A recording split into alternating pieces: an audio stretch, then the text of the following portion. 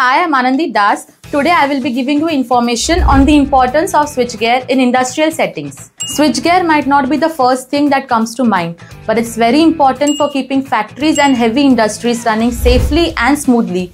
This equipment controls and protects electrical systems, making sure that power is delivered wherever it's needed without any problems. In factories, switchgear ensures machines have a steady power supply, preventing interruptions and keeping production on track. It's what helps things run safely and efficiently. For manufacturing, reliable power is the key for machines to work well and avoid costly downtime. In heavy industries like mining, switchgear is built up to handle harsh conditions and respond quickly to prevent accidents. Switchgear not only protects machines but it keeps workers safe too.